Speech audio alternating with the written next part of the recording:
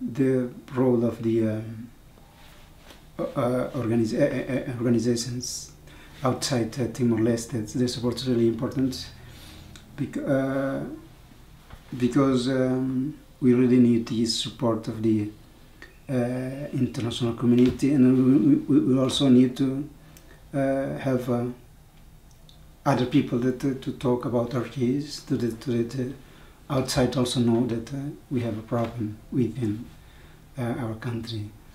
So like um, in '98, I think in Philippines also there was a conference that uh, gathered all of the uh, NGOs, organizations that support the independence, and then they like declared the uh, support for the uh, Timor-Leste independence. And then uh, by the time we also listened to the radio, and we were really happy, you know, because you know the independence. You know, it, it was in 1998, like in Philippines, I- I- if I'm not wrong.